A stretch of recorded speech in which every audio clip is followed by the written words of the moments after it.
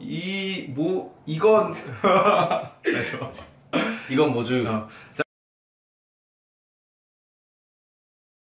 안녕하세요. 박사범TV의 박사범입니다. 안녕하세요, 호정입니다. 자, 오늘은 바로, 이건 모두를 위한 주짓수 이건모주 3탄입니다. 자, 오늘 3탄 주제는 어떻게 되나요? 네, 오늘은 많은 분들이 궁금해하실 주제를 가져왔습니다. 어떤 주제? 주짓수와 다이어트. 주짓수 하면 살이 빠질까요? 와우, 저도 이거 엄청 궁금한데, 어?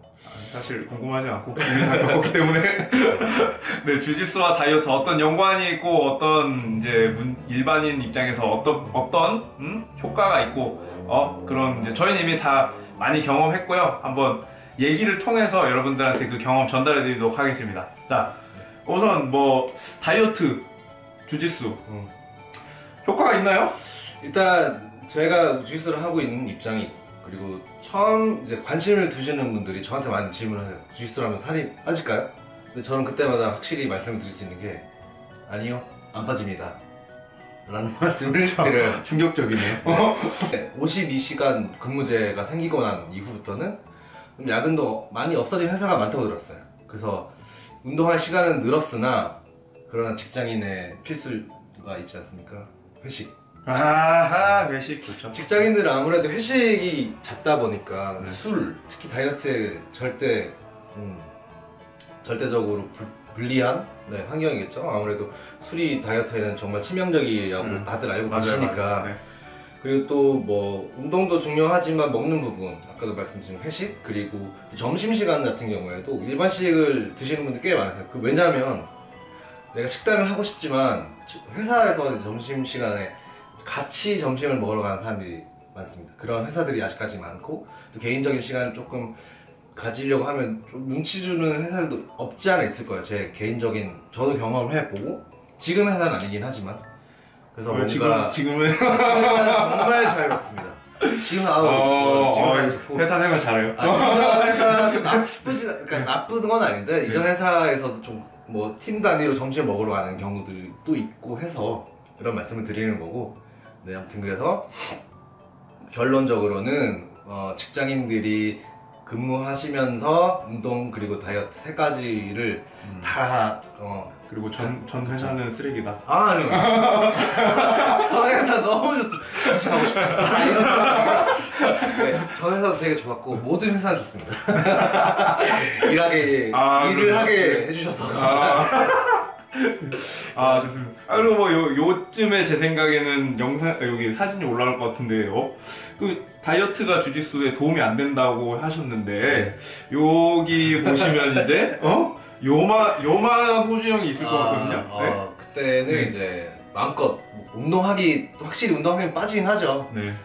아예 운동 안 하시던 사람 분이 운동을 하기 시작하면 무조건 빠지기 처음에 빠질 거예요. 근데 제가 말씀드린 거는 뭐 직장 상- 생활 하시면서 뭐 회식이니 뭐니 이런 식으로 하면 음. 결국 먹는 게 더 중요한 부분인데 먹는 아. 거를 놓치고 계시면 다이어트는 힘들지 않을까. 형은 이제 의지가 좋아서 빨고 아 그쵸. 여러분들은 이제 의지가 박약해서 아. 못 뺀다. 의지 아. 저처럼 가실 수 있어요. 운동하시는 분들이면 의지 아, 대단하신 대단하시네요. 분들. 아니, 일단 운동을 하시는 분들은 의지가 정말 좋으십니다. 나 빼고 다른 회사들 아. 빼기 어렵구나. 그렇죠. 자, 하나였습니다. 이해합니다. 아 좋습니다. 아주 이기적인 발언. 일단 저의 생각은 네. 더 이상 말하면 안 될 것 같아요. 여기까지 하고. 네, 아, 알겠습니다. 네. 박사님의 네. 의견 한번. 아, 제 의견은, 네. 어, 되게 아이러니한데, 주짓수는 칼로리 소비가 엄청납니다. 스파링 해보신 분들은 알 거예요. 근데 살 안 빠져요. 왜냐면요, 이게 저도, 아, 이제 저, 제 사진 여기 올라올 것 같긴 한데, 어, 네. 아, 저가 결론적으로는 살이 빠지긴 빠졌거든요? 근데 이게 운동이 끝나고 나면 밥이 너무 맛있어요. 이상하게. 그렇죠. 네. 야식. 그래서 진짜 주변에 같이 운동하시는 분들 보면은 야식을 안 드시는 분들 거의 거의 드물 드물어요. 본 적이 없어 거의. 네? 하다 보면은 처음에만 이렇게 야식 안 먹고 뭐 잤다 막 이러다가도 좀 지나면은 어 야식 막 먹고 같이 먹고 막 끝나고 뭐 어디 뭐 짬뽕 먹으러 가고 뭐 어디 뭐, 그렇죠, 그렇죠. 뭐 맥도날드 가고 막 난리 나요 막 결국 밥이 너무 맛있어요 희한하게 그렇죠. 운동 끝나고 나면 그래서 살이 안 빠져요 칼로리 소비는 엄청납니다 그래서 만약에 주짓수를 활용하셔가지고 살을 빼고 싶으시면은 그 야식만 안 먹으면 돼요. 야식만 안 먹으면은 살은 정말 빠집니다. 근데 못해요. 못, 아, 못하실 그렇죠. 가능성이 높아요. 아 이거 못한다는 게 아니고 뭐 이게 왜 이래? 네. 오늘 이렇게 어, 여러분들 할 수 있습니다. 다뺄수 있는데 근데 주짓수가 그죠 영어로 그거잖아요, 그죠? 네? 주짓수가 한국말로 주짓수. 아 주짓수가 아니죠 다이어트가 아, 다이어트는 어. 영어로 식단의 네. 의미도 포함하고 있죠. 그러니까요. 그래서 다이어트는 식단입니다, 여러분.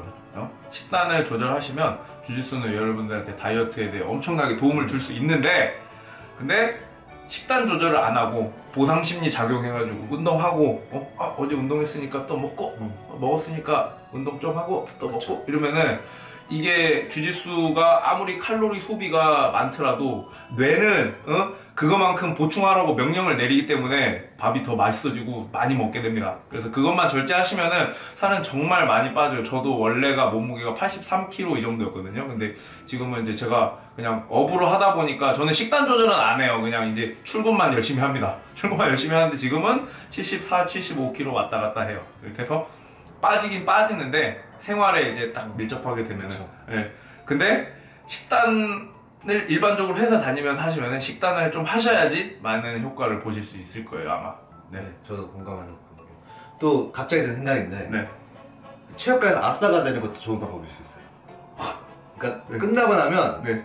눈빛 교환을 하잖아요. 이제 어, 이제 친해, 친해지고 하다 보면 술자리도 이제 잡게 되고 운동 끝나고 눈빛 교환하면서 어 맥주 한잔 할까? 이러면 이제 또 맥주 먹으러 가면 또 살이 찌죠. 아, 네. 운동한 만큼 다시 그대로 채워지는 아웃사이더가 되시면 확실히 빠질 수 있지 않을까. 아, 그렇죠. 네. 좋은 방법이에요. 네. 아웃사이더가 되시면 회식이나 이런 끝나고 식사를 좀 결론적으로 네. 주스는 예, 식단입니다. 다이어트는. 다이어트는 식단이죠. 네, 다이어트 식단이고. 다이어트는 식단이고 사전을 검색해도 식단입니다. 네.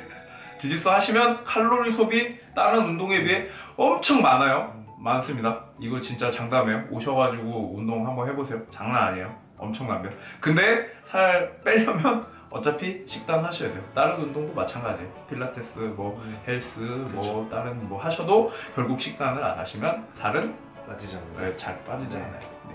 자, 그러면 마지막으로 오늘의 결론 한번 정리해 주시죠. 자, 다이어트를 하시기 위해서는 그냥 운동만, 모든 운동 마찬가지라고 생각합니다. 모든 운동 마찬가지예요. 자, 식단을 같이 하셔야, 주짓수도 마찬가지고, 이게 식단을 같이 하셔야지 큰 효과를 볼 수가 있습니다. 그래서 오늘의 결론을 한 줄로 요약하시자면 은, 주짓수로 다이어트 효과를 보기 위해서는 식단도 같이 해야 한다. 네. 가 결론이 되겠습니다. 자, 오늘은 여기까지 대화 나눠보도록 하겠습니다. 마무리하겠습니다. 자, 박사범 TV 박사범이었습니다. 네, 저는 호중이었습니다. 감사합니다.